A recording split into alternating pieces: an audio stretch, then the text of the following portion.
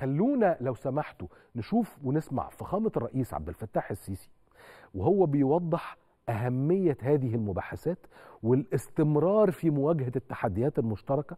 والرئيس اتكلم مع الأوروبيين في الهجرة غير الشرعية اتكلم مع الأوروبيين في خطورة مهاجمة رفح.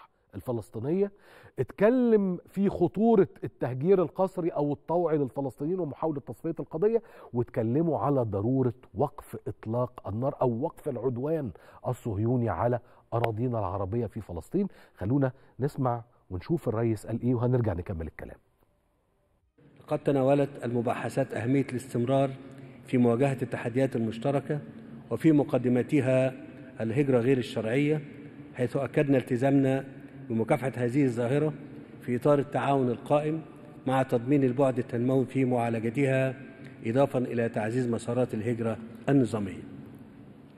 واتفقنا على ضرورة دعم جهود مصر التي نجحت في وقف تدفقات الهجرة غير الشرعية من السواحل المصرية منذ عام 2016 فضلا عن استضافة 9 ملايين أجنبي في مصر يتمتعون بالخدمات الاجتماعية والصحية أسوة بالمواطنين المصريين.